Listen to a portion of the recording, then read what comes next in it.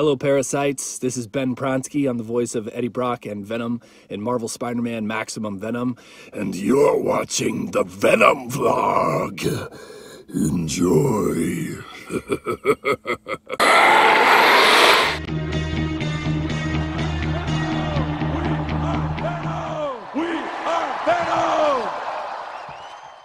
Hey everybody, welcome back to another episode of the Venom Vlog, and today we are going to talk about Marvel's Spider-Man Maximum Venom Episode 5 called Generations Part 1 and 2, because obviously it's two episodes but combined together for a one-hour special.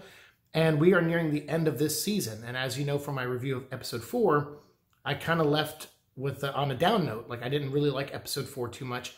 I thought a lot of it could have been condensed. I felt like some of it was kind of dragged out and a little bit unnecessary, and I understand the kind of the point of what they were going for and what they were trying to set up. Now I understand even more so after watching episode five, what they were trying to set up with Swarm and, and that, you know, that villain and, and kind of like what his goals were and how it feeds into the Jackal's goals, which feeds into Norman Osborn's goals. And so, yes, um, you know, I have a little bit more perspective watching this episode on the last one, but I still stand by my initial review of episode four, which is tough, you know, because as a fan and as a critic, you know, I really do like Doc Wyatt and Kevin Burke. They're great guys, and they have shown a tremendous amount of support and love for this show by having you know us have the ability to interview Ben Pronsky and then the two of them, and then also J.M. DeMatteis. Like it's it's been a privilege and an honor to like you know have that connection with those guys. Um, so it's hard to be critical, you know, like in a negative way to people that you just respect and admire and who have been so nice to you. It really is. But I I also have to be honest, and I, I, so I like I said, I stand by my review of episode four. Even now, knowing some of the stuff that comes to light in this episode, it certainly changes my perspective on why some of the things uh, were happening in that episode four. But I still felt like it was a dragged out two part episode. It felt like it could have been a single episode, um, and so you know I still stand by that. And like I said, it is hard to give negative criticism to people you respect and admire, um, but that's you know probably the only real obstacle I have doing these YouTube videos and being like a reviewer or a critic is that sometimes you, you give negative reviews to people you really like. Like recently, Gerry Duggan on um, Savage Avengers Empire number one. I personally didn't like it, but some of you guys did. And that's why I always like to invite people who have opposing opinions. So if these creators do see, hey, oh wow, Siike really didn't like my comic or he didn't really like my episode, like that's a bummer, you know, like why didn't he like it? And I explain why but then you guys in the comments might say why you did like it. And I think that if they're reading the comments and stuff, you know, and seeing that stuff, I, I hope that gives them that push and reminder that, okay, that's just Siike's opinion. It's not everyone's opinion. Um, because, yeah, that's all I'm given is just my opinion. But it still sometimes sucks to give a negative opinion about someone, you know, whose work you admire and like. Um, but this episode I thought was a step in a better direction. Obviously, it was symbiote related. It did pick up from episode three where you know someone grabs the seed. We find out that maybe that was connor's um, or maybe it was a chameleon or i don't know like but there's some cool twists in this episode that i actually didn't see coming and i was i was very happy about that. Um, and although it doesn't really tie into venom although the this you know the synthetic suit that norman osborn creates in this episode is kind of based off of the sliver of venom symbiote that Max had back in episode one of Maximum Venom, uh, Max Modell.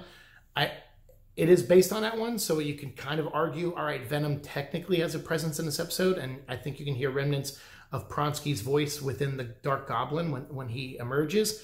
But um, but still, it's like I don't know, it's it's it's tough. Like it's like uh, you, you can argue that he's Venom's technically there, and you can argue that he's not there at all. Um, so you know, we are going to get into spoilers. So if you haven't watched this episode, you know, go check it out. You can check it on Hulu and, you know, probably um, the Disney app. If you have the Disney uh, app on your phone, it's like a Disney Kids app. Um, you know, and so you can watch it there. I don't think these are on Disney Plus yet. I almost said Disney Plus, so I had to stop myself. I think maybe after season three ends, they'll put on Disney Plus. Right now, seasons one and two are on Disney Plus. So if you ever want to go back and watch older episodes, um, you can, and that's probably good too because it might help you, you know, get into this episode a little bit more because this kind of tries to wrap up stuff that apparently has been set up for a while. You have Jackal coming back. He's the uncle of Spider Gwen, you know, Gwen's character. Um, they, I think they they didn't want to call Miles Warren. I think his name is Raymond Warren in this one, or something like that, or something along those lines, or Raymond Stacy or something.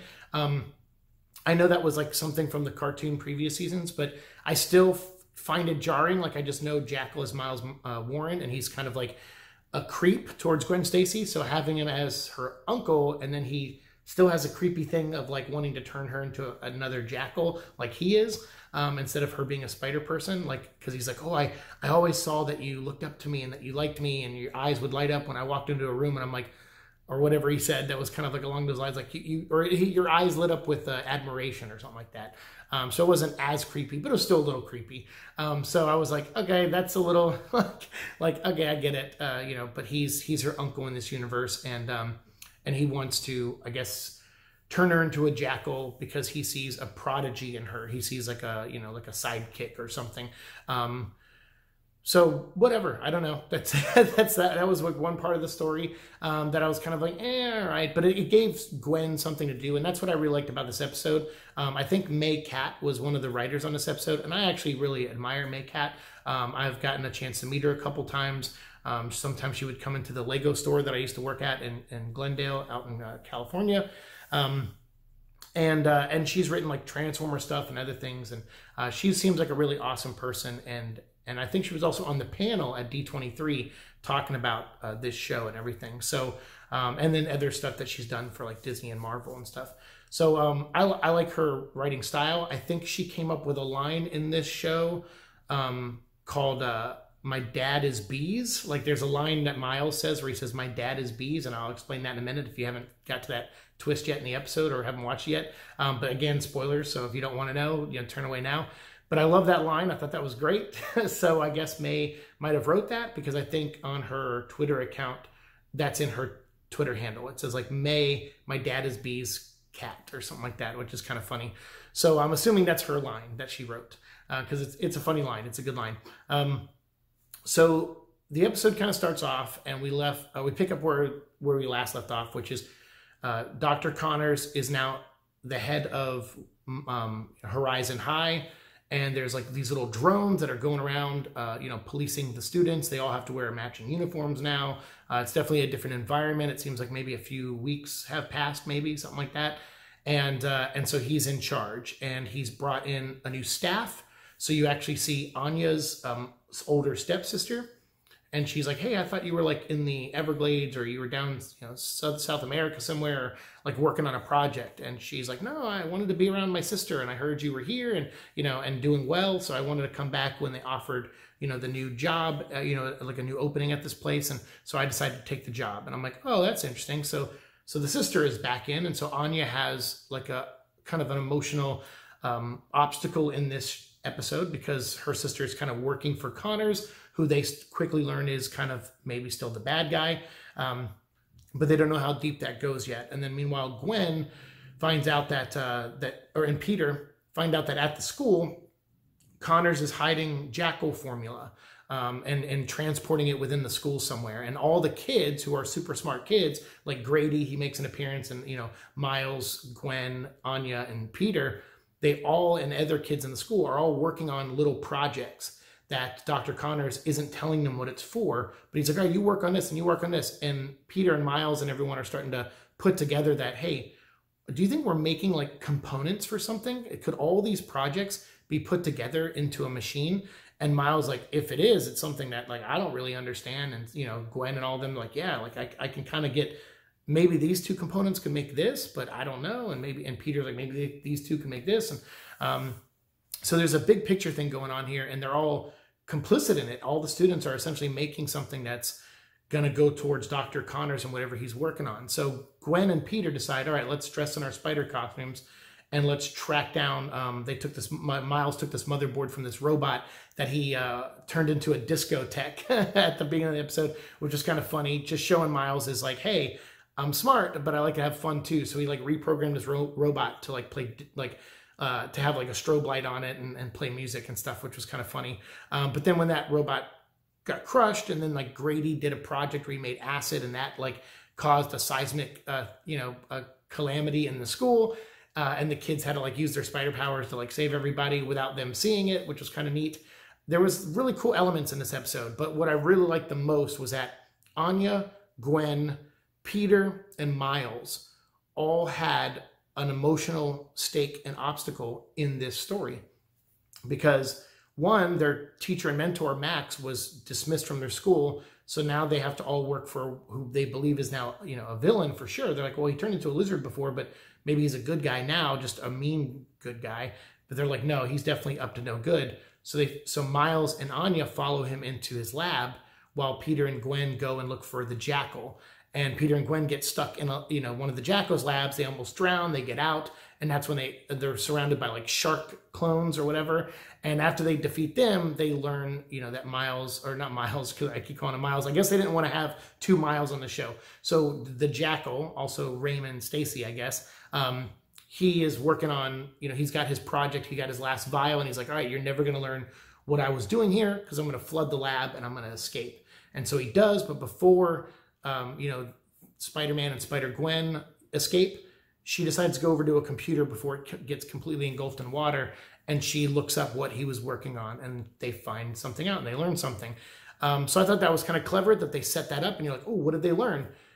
And then later on when uh, you know jackal gets back to um, the lab at horizon you find out that him and uh, the, you know dr connors are working together for norman osborn um, and who we thought died we thought he got burned up and when peter and harry like saved each other and got out and they left uh, norman for dead well he did lose an arm and a, a leg apparently.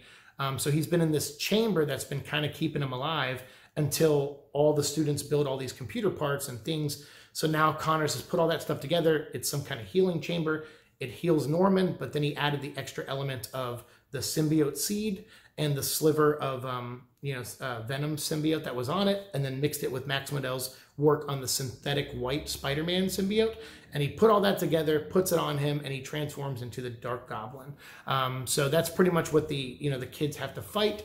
But then Anya makes a discovery where she finds out that her older sister, uh, stepsister, is working for Norman Osborn willingly, and that she has a robot spider suit where she calls the tarantula and starts fighting Anya. So, you know, Norman's like, all right, I'm loose now and I'm going to destroy you, Peter Parker, but I also have Anya's sister to fight Anya.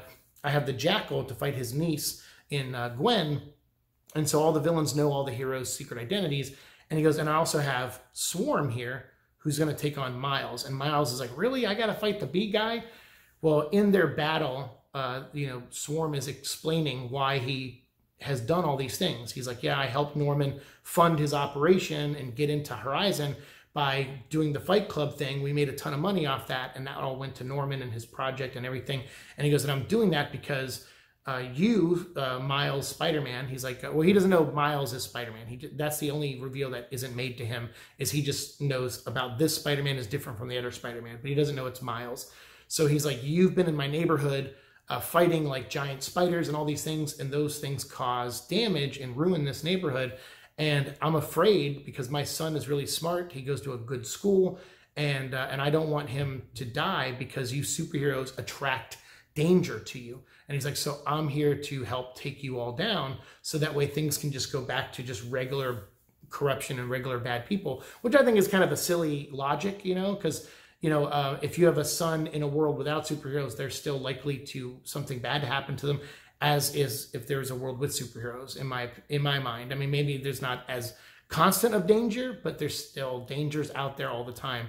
So when he says that, Miles starts putting two to two together. So he takes off his mask instead of fighting Swarm because he has been unsuccessful in fighting Swarm anyway. Swarm keeps turning into bees and beating up Miles. So Miles finally just takes off his mask and says, Dad, is that you?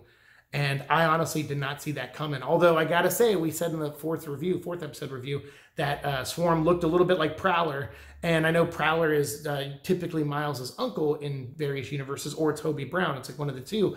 So it was kind of neat that uh, that his dad kind of has a Prowler look, and he's a supervillain, and they made him Swarm. I thought that was pretty cool because um, I think the actual Swarm in the comics is like a German scientist or something. And so this I kind of like. I was like, oh, this is nice, and it ties into Miles and it gives him just as much of an emotional arc that Anya has because she has to fight her stepsister, um, and then uh, Gwen she has to fight her, you know, her uncle, and then Peter who has to fight Norman Osborn, you know, his uh, kind of a surrogate dad in some regards, uh, not really so much in this universe, um, but in other universes, like you, we just know that connection between Peter and Norman. Um, but luckily, Peter doesn't have to fight Norman on his own him and Gwen, when they hacked, you know, when Gwen hacked in that computer, they found out that Jackal was working for the Goblin.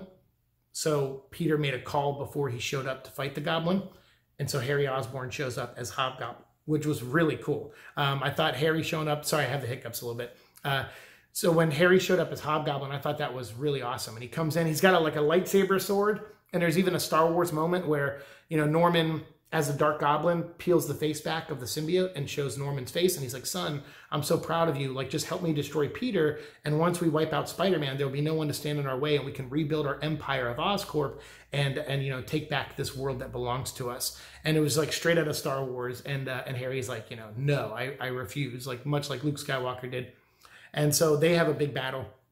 So Miles takes off his mask, reveals himself to his dad. Swarm decides, I can't do this. I almost killed you. I almost killed other people. Uh, what have I done? I was doing all this because I thought I was protecting you, and here you're the you're out there saving people, and it it it, it kind of breaks him. It kind of breaks Miles's father. So he you know buzzes off. uh, but there is a line later where uh, where everyone's like confessing, like, oh, I had to fight my uncle today. I had to fight my stepsister, and Miles is like, my dad is bees. so I was like, that's cool. So that's I think Mae Catt's line. Um, but then Anya, that's the other surprise. So I was I didn't see the the the the swarm identity reveal. I didn't see that coming. There was another reveal that I didn't see coming. Um, you know, Anya finds out that her older sister or stepsister is actually not her older stepsister. So when she beats up the giant robot, she's able to um, hit a button on the suit of the villain and wipe away the imagery of her, you know, of, of her older stepsister. And you find out that Anya's older stepsister that works at Horizon is actually not her older stepsister. Her older stepsister is still in South America working on her project. She's been fighting the chameleon. Uh, so I thought that was a great reveal, and I did not see that coming either. So this was a, a, solid episode as far as like, okay, this is a regular Spider-Man episode outside of the Maximum Venom stuff. Has a slight tie into the Maximum Venom stuff because of the seed, and then they make the synthetic costume for Dark Goblin. At the end, Dark Goblin takes other samples of the synthetic uh, organism and injects himself, and he becomes like a, uh, Venom the Madness size. You know, he's got extra legs and there's extra eyes on him and stuff. And I was like, it was a pretty cool design. It actually looked kind of neat. So all the Spider Kids teamed up together to fight him, and it was awesome. And there was like Harry's like with the lightsaber sword is like stabbing uh, Norman Osborn, the Dark Goblin, and cut off his arms at one point. I was like, dang, this is like intense. And they're like, they cut off his arms, beat him up, and put him back in his chamber. And then they had, meanwhile, while Spider Man and uh, Harry are doing most of the legwork. All the other uh, Spider people are working on their projects because remember they all helped build the machine essentially, so they know how to reverse engineer it. So they're back there reprogramming everything. They push Norman into the uh, chamber again, shut it, and then strip away and destroy the synthetic symbiote and uh, the seed and just kind of melt away. And then you just have Norman Osborn left. I think his arm and his leg have grown back, uh, are still there, but he's um, but he's defeated. And meanwhile, Dr. Connors, he's been working for Norman, um, but he, uh, in exchange for serums, and Norman, I guess, promised him, hey, once we, once I become the Dark Goblin and we succeed and destroy all the Spider people, I will give you a permanent cure um, and help you grow your arm back and using this machine that's going to help me grow my limbs back. So that was the promise he made to Connors. And then it turns out the cure part was a lie. He's like, yeah, I can maybe grow your arm back, but you're not going to ever not be a lizard again. Like, I don't, I'm not going to cure you from that. Uh, he's like, I'll just give you medicine for the rest of your life. And Connors was not happy about that. So he turned into lizard and got in a few shots on Norman Osborn before then running away. So, uh, so the episode does end with a couple plot threads still out there. Swarm is still out there. Um, uh, you know, Dr. Connors as the lizard is still out there. So I don't know if they'll be able to wrap all that up in the next episode. Again, I, my fears of the last episode are, are, coming back in. Like we we did get a synopsis reveal of the last episode. They talked about, um, you know, uh, a Venom. They mentioned Venom. I think the final episode is even called Maximum Venom, which is funny because it's called Spider Man's Marvel's Spider Man's Maximum Venom. Maximum Venom Part One and Two. it's a lot of Maximum Venoms in there. Um, but uh, but I guess they're gonna kind of maybe wrap that up. Uh, I do I did have a lot of people ask me if this is the final season. I don't know. I remember reading that somewhere that this might be the third and final season, but I have no idea. I we did talk about that. I think I did ask Kevin Burke and Doc Wyatt, you know, back when um, they did the interview, and they didn't give me a really direct answer. And that's either because a they they're pro- most likely because they couldn't answer it. Um, it's probably because they like you know they, they need the press for that. They need to like they need like a major outlet as much as major as they can. They're not going to reveal that on a on a venom vlog uh, episode. They want to put that out there in like a trade or or big piece of new, you know, news article somewhere um, so that it gets the most traction.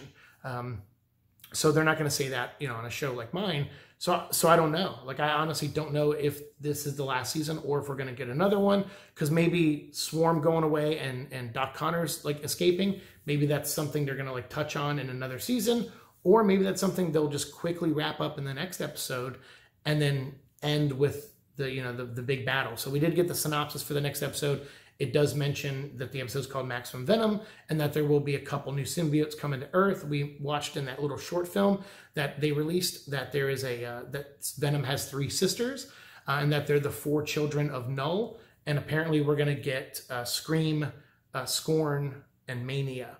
Uh, all in the next episode, uh, voiced by Meg Donnelly, and, and I can't remember the other actresses' names once again, we went a whole nother episode without Mary Jane. So it's like, oh, we got Felicia Day for Mary Jane. And she's literally had like three scenes in five episodes so far. So that's a little bit of a bummer for me. I was kind of hoping for more there. So if they do a fourth season, I hope they do have more Mary Jane in there, played by Felicia Day. And hopefully they wrap up the, the Miles stuff and the Dr. Connor stuff next season, if there is a next season. Um, I would personally not like it if they rushed through and wrapped all that up in the next episode. But at the same time, I'm like, well, I don't know if they're going to make a full hour, be able to make a full hour out of just the Venom sisters. Um, but we'll see. Yeah, I guess we'll see. And I don't know if we'll see Knull or not. Like, you know, we'll have to wait till we get a teaser, uh, a trailer, or some kind of, you know, whatever. But I do know that this is going to be airing the last weekend of October on Disney um, XD. So, and then the next day it'll be up on Hulu. So if you're around on Halloween, uh, you know, you missed the episode, you know, maybe that's something you can watch on Halloween is the finale of Maximum Venom.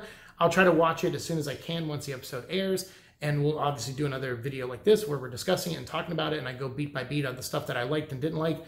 And, uh, and yeah, we'll, we'll dive into it at that time. But for this episode, I gotta say, like, even though it wasn't as symbiote heavy as I would have liked it to be, even though I know people are gonna go, what are you talking about? Like, from from from like the 20 minute marker to the the 20 from the 20 minute marker to the 44 minute marker um, you know you had dark goblin so there was a symbiote there and it's like yeah technically there was but it wasn't like you know, like I don't know. I guess I just had a different misconception of this show based on the the marketing and the um, the toys and everything. I just thought it was going to be like, you know, like a couple episodes of just like you know the end of the world essentially, symbiotes taking over, and all these heroes having to battle against it. And they did all that in one episode, which was a good episode. Episode three was a good episode, but I guess I was kind of hoping for more of that and, and more struggles with the heroes having the symbiotes and seeing Cap like trying to resist it and seeing Iron Man trying to resist it. Like, I guess I was just hoping to see a little bit more drama and, and fun in regards to that. Um, but uh, I guess I got to give them points for subverting my expectations as well. But uh, but yeah, I think the marketing just went crazy with uh, you know the the symbiote invasion stuff and made all the toys of all that and didn't really like focus on because now I want a swarm toy. like I've always wanted a swarm toy, and I think they made one before in the '90s where he just was like yellow dots and stuff. Like, but he was an actual figure, but he was just bumpy or whatever. But um, I would actually like a cool swarm toy where it's like an actual figure and then maybe you can clip on him like this swarm of like bees like you know like all these like little dots or like bees on like this hard plastic like painted on and just like having them coming out of his back or coming out of his like chest like he's turning into bees. Like i would love a toy like that. Like that would be so cool. Even though he looks a little too prowlerish for me um, the identity of who he is was kind of neat actually for me in this episode. I really liked that it added some emotional weight to miles' story and that now miles has this mission uh, this personal mission to go out and save his father um, and bring him back from you know the the brink of the decisions he's made and the, the harm he's done. I think that's great. I think that's a great story. Um, so yeah, kudos you know to everyone who works on this show. First episode I liked, third episode I liked, second episode I was definitely critical of, but ultimately I, I saw the point in it. Fourth episode I really didn't like at all. This episode I actually did like. I would say I probably give this one like a three and a half out of uh, five because the character stuff in it was pretty good actually. Um, and everyone had a little thing to do. Connors had a thing to do. Grady had a thing to do. They bring max modell back at the end to run the school again. They brought back the board members to show because conveniently you know norman osborn revealed his whole master plan on camera uh, and so they were able to show that to the board and get max modell reinstated. So, you know, they did put a nice little button on a lot of things in this episode, so that does make it primed and ready for a Venom finale to wrap up this season. But there are still the loose threads of Dr. Connors and Swarm, so I'm kind of curious. Are they going to cram that in the next episode, or are we going to get a fourth season of this and they're going to do that later? Um, what are your thoughts? What are your hopes? Let me know down below. Did you watch this episode? Did you like it? Did you dislike it? Do you agree with me? Do you disagree with me? Whatever it is, let me know in the comments below and we'll continue our conversation as always down there. Um, but yeah, thank you for watching this episode. And again, you know, uh, this show, I'm a little bit more optimistic for the final episode, especially now that the synopsis is out and they talk a little bit about Venom and the sisters and all that stuff. I'm like, okay, good. That's that's good for me. Like, because I was really worried this season was going to be like two episodes of symbiotes and four episodes of something else. Although I just I did keep hoping. If you look at my previous reviews, I kept hoping that okay, even if symbiotes aren't in episodes four and five, if we at least get them in six, I'll be a little happier. I still stand by that. If then now that we know we are going to get symbiotes, we're going to get the female symbiotes in the next episode. I'm kind of curious how they're going to do them, how they're going to portray them, uh, what their goals ultimately are going to be. Um, I'm assuming it's going to have something to do with wiping out the earth, but I'm, I'm curious, you know, are, are they just mad at the earth because the earth is abusing the seed and constantly recreating like venom in some ways with the jackal stuff, making a venom clone with the synthetic symbiote? Like, is that an abomination to them? Like, is that why they're coming to earth? Or do they just want to complete the invasion that was started? Um, or do they still serve Knull or do they not serve Knull? Like all that stuff. I can't wait to find out in the next episode. So again, thank you guys for watching the show. As always, like, share, subscribe, all that fun stuff, and I'll see you in the future. Peace.